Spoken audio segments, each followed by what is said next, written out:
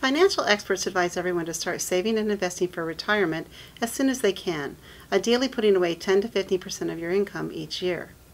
When you're in your 20s, retirement saving may not be the first goal on your financial checklist, but starting to save for retirement as early as possible can set you up for success in the long term.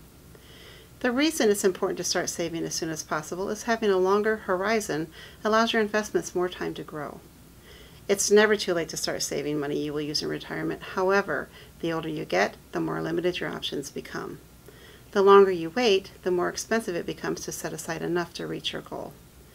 At Waukesha State Bank, our professionals are a great resource who can help you review your individual retirement savings goals and provide you with tools and tips for how to stay on track.